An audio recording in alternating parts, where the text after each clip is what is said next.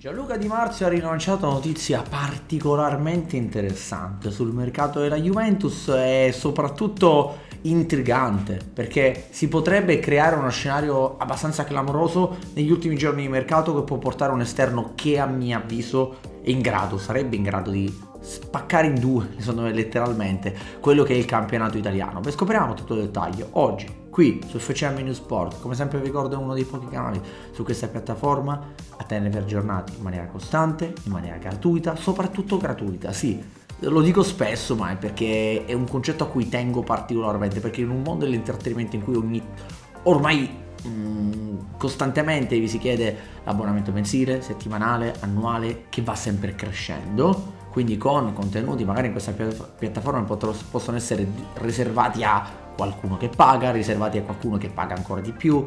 Qua è tutto gratuito, non vi costa nulla, se volete e se vi va potete iscrivere, se i contenuti non sono di vostro gradimento, se le nostre analisi non vi piacciono, potete semplicemente non vederli, ma comunque avete tutti la possibilità di vedere tutto in maniera gratuita. Quindi se vi va fatelo, se no. Amici come prima, andiamo alla notizia perché perché in casa Juve c'è una situazione molto particolare, quella legata a Chiesa, ma che si può, diciamo, incastrare con un'altra operazione, che ha a che fare con un calciatore di cui ha parlato proprio Gianluca Di Marzio, ossia Sterling. E sì, perché qualche giorno fa abbiamo parlato di un interesse della Juventus per Sterling, vi abbiamo parlato di possibile, un possibile inserimento di Chiesa in questa situazione qui, e attenzione, perché Di Marzio ha rilasciato una notizia che per come la vedo io sarebbe clamorosamente interessante per la Juventus e sarebbe molto intrigante. Perché Sterling non è stato convocato per la sfida tra il Chelsea e il Manchester City. E questa è già una notizia. La notizia è che il giocatore è in uscita e questa è la seconda notizia la terza notizia, e da qui sviluppiamo tutto il resto perché ci sono altre novità interessanti, quindi seguite il video in tutta la sua interezza, è che il Chelsea negli ultimi giorni di mercato, quando di fatto ormai cadono un po' le certezze di tanti club e crollano un po' le certezze di tanti eh, campioni, il Chelsea potrebbe negli ultimi giorni di mercato fare un tentativo per Chiesa, proponendo uno scambio con Sterling che va alla Juve e Chiesa che va al Chelsea. Vi dico la mia, senza fare troppi giri di parola e, parole e senza in qualche modo eh, allungare troppo il brodo. Per me sarebbe un'operazione intelligentissima. Intelligentissima. Perché? Partiamo dal primo presupposto. Il primo presupposto è la Juventus si libererebbe di un problema che è quello legato a Federico Chiesa. Federico Chiesa, l'abbiamo detto più e più volte, non rientra più nel progetto Juve e attualmente non ci sono margini per poter ricucire una ferita che ormai è complicata da ricucire. Difficile, quasi impossibile mi verrebbe a dire, beh, dopo la selezione di McKenny tutto è possibile, però è molto difficile. Ti libereresti di Chiesa, del problema che in questo momento c'è attorno alla figura ingombrante di Federico Chiesa e dell'ingaggio di Chiesa che guadagna la bellezza di 5 milioni di euro.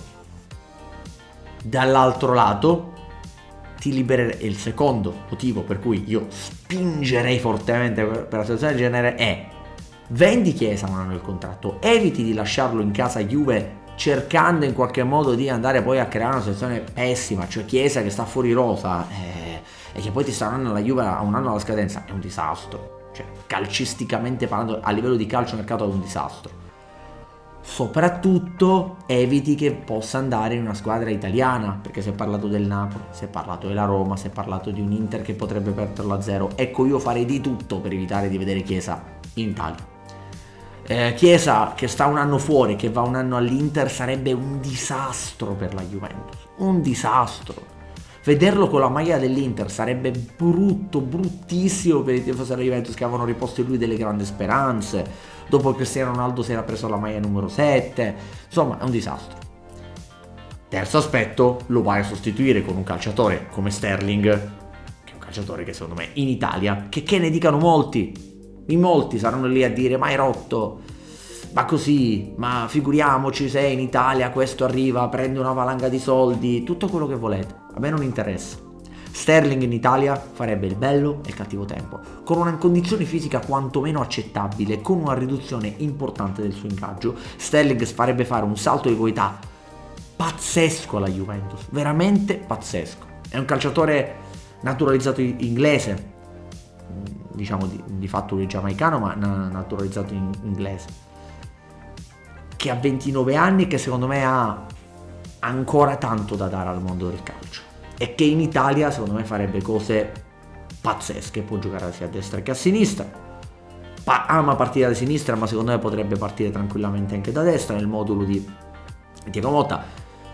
L'altro tra cui non gli si può dire nulla da un punto di vista dell'esperienza calcistica, perché uno che ha giocato nelle giovanili del Liverpool, poi nel Liverpool, poi nel City e poi nel Chelsea, beh, esperienza internazionale ne ha da vendere.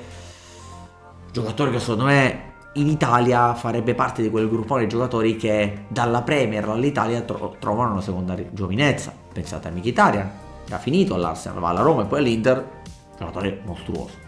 Pensate a Loftus-Cheek, giocatore che sembrava finito al Chelsea, va al Milan, rinato. Pensate a Tomori, uno scarto del Chelsea, rinato. Pensate a Giroud, neanche a dirlo. Pensate a Pulisic, che era ai margini del Chelsea, diventa un perno del Milan.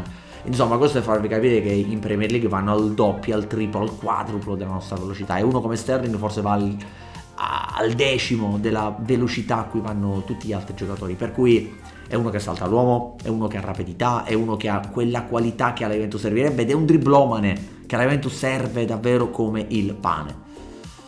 Qualche giorno fa Di Marzio aveva parlato di un tentativo di scambio tra Sterling e Chiesa, che era stato però era svanito in virtù del fatto che c'erano delle distanze evidenti tra le, in qualche modo, le, come dire, le valutazioni dei giocatori e gli ingaggi. Però il fatto che Sterling non sia stato convocato e che Chiesa continua a essere un giocatore fuori dai, dai, dai margini della Juve può essere una soluzione, una situazione molto interessante per, per Tiago Motta, per Giuntoli. E vi dico una, una, roba molto semplice. Se la Juventus riesce a prendere uno come Kubans e in più riesce a mettere all'interno della rosa uno come Sterling, beh, la Juventus torna a essere squadra, torna a essere squadrone per come la vedo io. Voi sapete la vostra? Fareste questo scambio? Direste sì all'operazione Sterling alla Juventus? Parliamone qui sotto nei commenti.